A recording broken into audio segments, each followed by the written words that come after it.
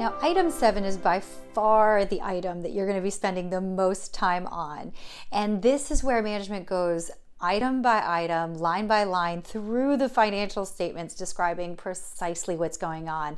And in a lot of ways, there's tons of courses on how to read the financial statements. And perhaps if you're a complete beginner, which all of us start right there at the beginning, um, go through those courses, but there is nothing like actually going through item seven and being walked through the financials of company after company to really start to understand how the three statements work together.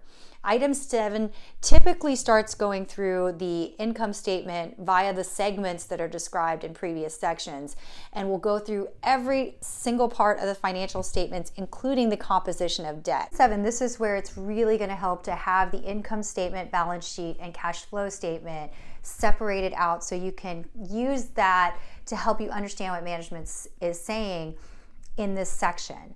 And a lot of times, even if these things are clearly broken out in those three consolidated statements of financials, you'll see these mini tables that they produce to try to help you understand that one line item that's on those three documents. So take your time going through item seven. It is the most important section, in my opinion, in the entirety of the um, of the uh, document, the 10K. Now, if I were to give you some questions that you should answer for yourself as you're going through, I would say number one, after you've read through item seven, do you feel like management explained to you the different segments of their business?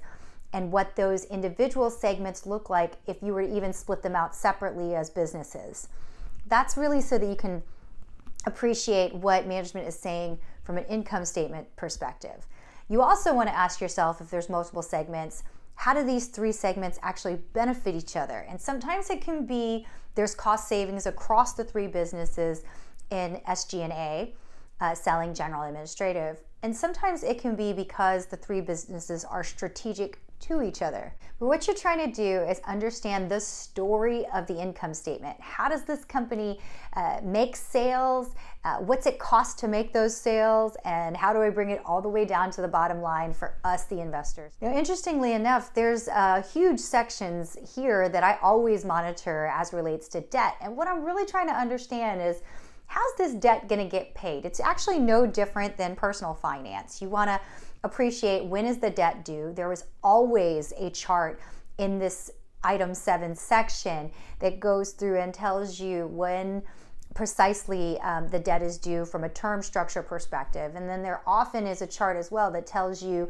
which precise piece of debt and what the interest rate is on that debt so you can follow along as to how management might be using its capital if it's an asset rich industry, you're going to watch them plug right along, right down, line item by line item in the balance sheet on what those assets are and how they add up and what even is the depreciation amortization that's going to happen, um, how old those assets are, that sort of thing. So it can be very telling, and even more than any textbook or anything else, just seeing what different companies are doing in the way of depreciation amortization, what these assets are on the books as can be so informative when you're thinking about companies across industries or across business. Now, I always think the cash flow statement is one of the harder ones to learn, um, except almost as an afterthought when you learn it in the more traditional way of going through the financial statements. But if you are going through item seven, the cash flow statement ends up being something that is a bit more front and center.